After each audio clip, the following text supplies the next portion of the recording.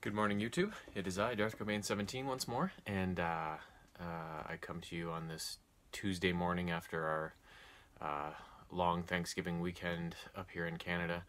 And uh, what I'm not giving thanks for is the fact that these guys ended up getting swept yesterday and are now out of the playoffs. So, um, yes, a season I was very excited for that went very well for the tribe uh, ended in complete disaster. So, but uh, given the sports teams that I follow, it's it's not something I'm unused to. So it's just another year.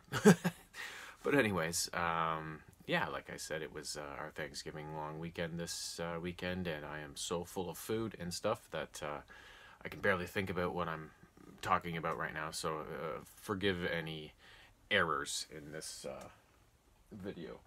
But uh, this is just one of my regular videos because I, I recently finished uh, a few more things. First one is this uh, series of books I've been working on, The Complete Aliens Omnibus. Um, this one is volume 5, I believe. Yeah.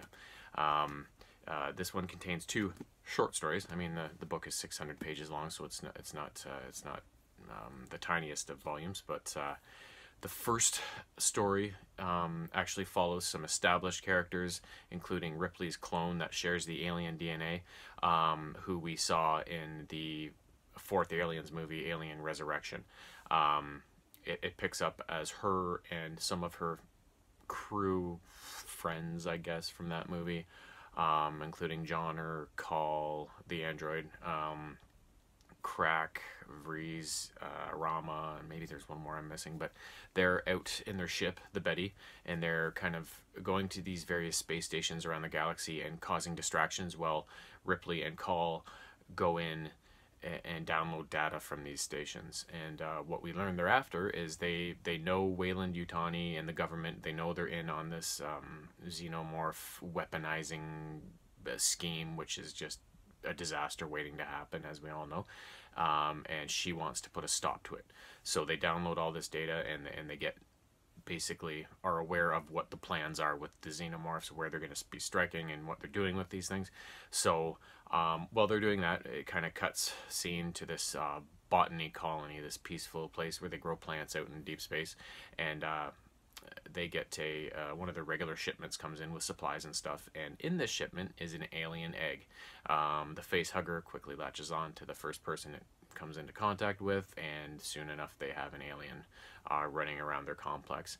And uh, this plan to infect this botany colony was one of the nuggets of information that Ripley and, and crew downloaded, so they go there to hopefully just deal with one single tiny alien after it's born or before it's born and uh, and be on their way and uh, foil that plan. But uh, they get there too late. They've got aliens on their hands and uh, yeah they're in another fight for their life. So um, that was the first story um, which was called original sin.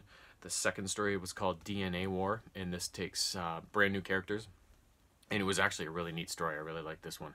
Um, this guy named um, Rory, um, Rory Malvo, I think his name was.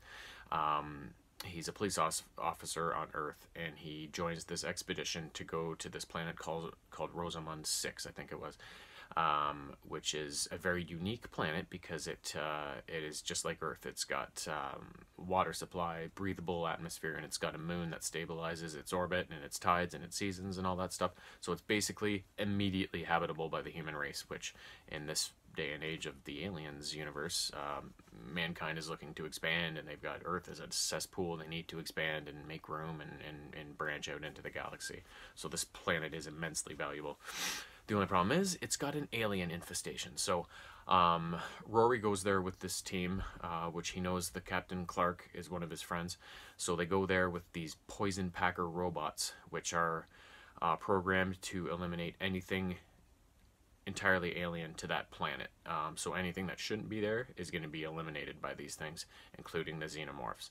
Um, the only problem is Rory's own mother, who is a renowned scientist named Jocasta uh, Malvo, is on the planet with a, team of researchers living in hiding and observing the xenomorphs' behavior, yada yada, doing research, and uh, he's got to get them off so that they can release these robots and cleanse the planet. Um, the only problem is his mom's batshit crazy and thinks that she's going to be able to live with these fiends um, and and interact with them and, and be able to walk among them and uh, and as as he observes the behavior of this research colony, he realizes that something is way way off, um, and uh, people start dropping like flies. And uh, again, it's another race for your life to get off this planet. So, um, two really good stories, especially that second one I really enjoyed. And, uh, and I've actually got volume six waiting to go. Um, so they just keep coming and I keep reading them. Uh, the next thing I finished was this. I found this for $5 down at Game Cycle. It's called Star Fox Guard. Um, I never got into the Star Fox series, it just didn't appeal to me. But this one is like a tower defense kind of game, which I don't play often, but every once in a while I like to pick one up because I do enjoy that style of game from time to time.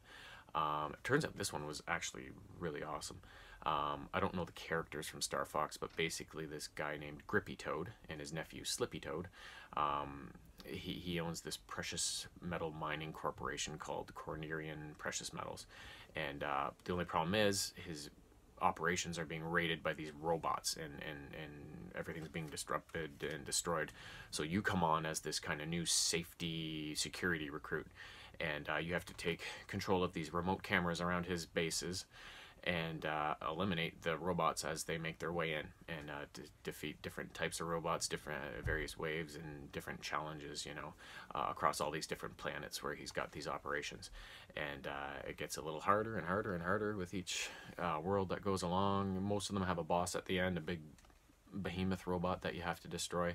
And in the end, the whole storyline revolves around this rival mining guy that they know and, and, and he's the one causing all this disruption so then you have to eliminate him in the end. Um, i was for five bucks i thought you know i may as well i like that style of game but it ended up being an awesome game. It was worth way more than i paid for it so so that was nice. Uh, and then the last thing um, another one i got a game cycle used Wario Land Shake It. Um, I never got into the Wario games eh, as I was younger. I loved all the Marios and played all them.